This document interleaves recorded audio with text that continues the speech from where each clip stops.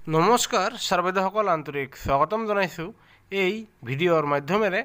আপোনালোকে ওঠৰ মাহৰ দিয়ে এৰিয়াৰৰ খবৰটো দিবলৈ আমি চেষ্টা কৰিছোঁ।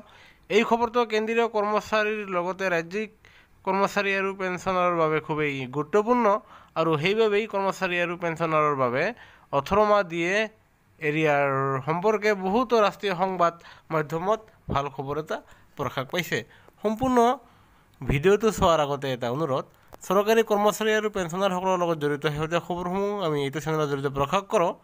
আপুনি যদি এতিয়াও আমাৰ চেনেলটো ছাবস্ক্ৰাইব কৰা নাই তেনেহ'লে অনুগ্ৰহ কৰি আমাৰ চেনেলটো ছাবস্ক্ৰাইব কৰিব। আনহাতে কাষত থকা নটিফিকেশ্যন বেলটো টাচ কৰি অল কৰিবলৈ নাপাহৰিব কিয়নো চৰকাৰী আৰু কৰ্মচাৰীসকলৰ কাৰণেই আমাৰ এই চেনেলটো প্ৰতিষ্ঠিত।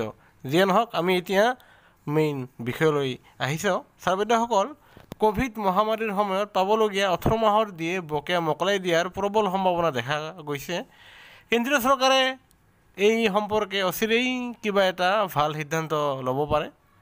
আনফালে কৰ্মচাৰীসকলৰ পৰা সদায় হেঁচা প্ৰয়োগ কৰা হৈছে যে যাতে চৰকাৰে ওঠৰ মাহৰ দিয়ে এৰিয়াৰৰ টকাখিনি মোকলাই দিয়ে।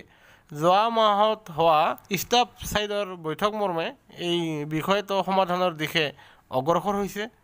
ওঠৰ আগষ্ট দুহেজাৰ বাইছ তাৰিখে নেশ্যনেল কাউন্সিলৰ সদস্য শিৱ গোপাল মিশ্ৰাই কেবিনেট সচিব আৰু নেশ্যনেল কাউন্সিলৰ অধ্যক্ষক চিঠি লিখি জনাইছে যে ওঠৰ মাহৰ দিয়ে এৰিয়াৰৰ টকাখিনি যাতে চৰকাৰে মোকলাই দিয়ে।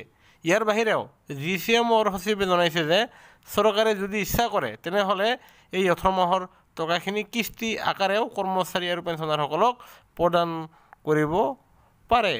আৰু এই ওঠৰ মাহৰ দিয়ে বকেয়াৰ ওপৰত নৱেম্বৰ মাহত এখন বৈঠক অনুষ্ঠিত হ'ব আৰু এই বৈঠকখনতেই ওঠৰ মাহৰ দিয়েৰ ওপৰত এটা ভাল খবৰ আশা কৰা গৈছে। ফলত কৰ্মচাৰী আৰু পেঞ্চনাৰসকলে দেৱালীৰ আশে পাশে মতা পৰিমাণৰ টকা পাবলৈ সক্ষম হ'ব।